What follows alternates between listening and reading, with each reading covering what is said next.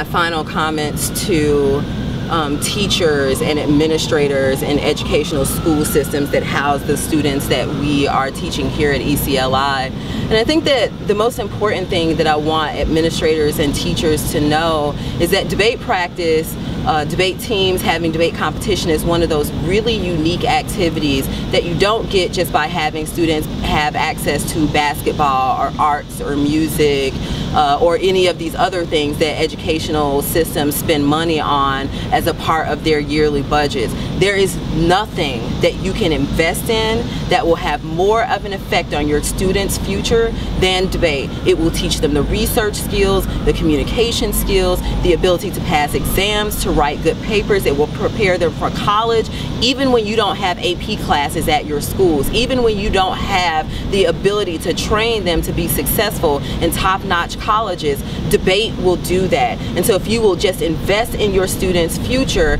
by using debate practice as a means to an end of getting more of your students to graduate, you want to see your dropout rates go away, invest in debate as a part of your curriculum. Invest in a debate team. You want to see more of your students graduating at the top of their class rather than middling around at the bottom, then add debate practice. You want to see those students that you think talk too much and don't pay enough attention to school, then give them something that fascinates them. Have them read things that are about their real lives, about the material circumstances that they are existing in. But what you're giving them are books and language and information. You're giving them knowledge that you are regurgitating from someone else's history, from someone else's culture, from someone else's society, and they are reacting to that. They're not interested, they're not excited. We want them engaged, and when you look at the video, when you see how engaged the students are at the Institute, there's your proof. When have you ever seen a group of students like this who don't come from, you know, middle class families in large part? Their families are not rich,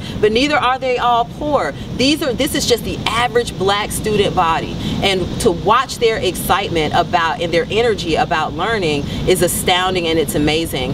We walked into the uh, common room last night in the dorm after we came back for from dinner with the students. And they were in there and you would think they'd be in there watching TV or listening to music or playing cards you know or just fooling around with one another. But we walk in and there are laptops open and they are revising the work that they have been working on all day. And it's nine o'clock at night.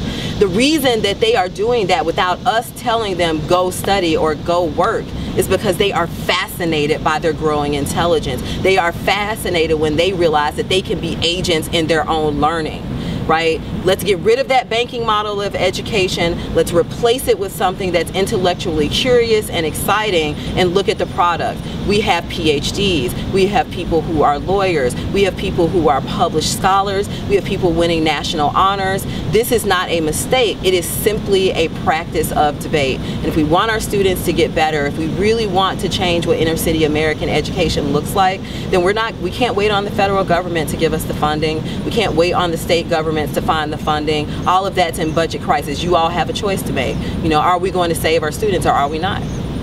And that's the only question.